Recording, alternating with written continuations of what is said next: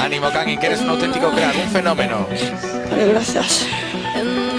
Está, des- está desconsolado, está desconsolado. No en estos momentos, desde que he empezado a jugar a fútbol, ¿no? Ha sido un equipo que me ha dado todo. Solo deseo lo mejor. Le doy las gracias por, por todo, porque es donde he crecido. Y nada más, quiero dar las gracias también a la afición que cuando estuve en Valencia me ayudó, me ayudó y me, eh, me apoyó muchísimo el club, los compañeros y